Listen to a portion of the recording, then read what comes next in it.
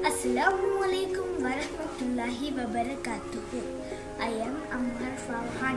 I am here to say about Pacific Ocean. Pacific Ocean is the largest and deepest ocean on earth. It was named by the explorer Ferdinand Magellan.